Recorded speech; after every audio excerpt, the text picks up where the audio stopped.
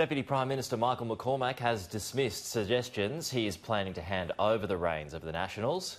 Mr McCormack is digging in as questions surround his ability to unite the party.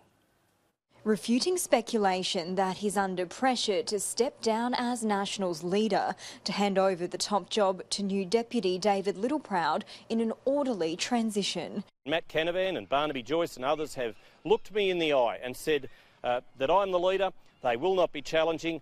When a country person gives me an assurance, I take them on their word, and I'm taking them on their word on that.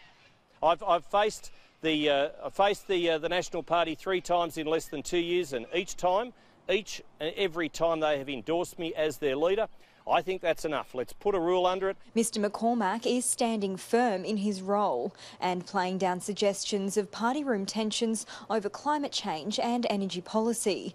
National Senator Matt Canavan has warned he would be prepared to cross the floor over the issue, calling a net zero emissions target by 2050 fantastical. The Morrison government's currently considering a new long-term emissions reduction strategy ahead of a UN climate summit later this year.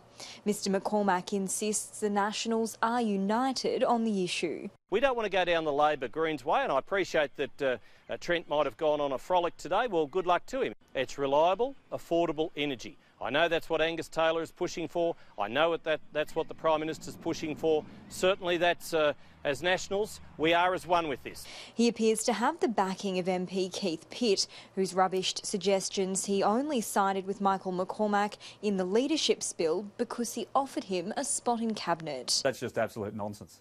Uh, I mean, I've, I've, been in the parliament. Uh, this is my third term. I've held three junior portfolios. Uh, no one in their right mind I would think I wouldn't be loyal to the leader. Uh, and, you know, to, to be frank, uh, that's our job now. We need to get onto it. Anna Rawlings, Sky News.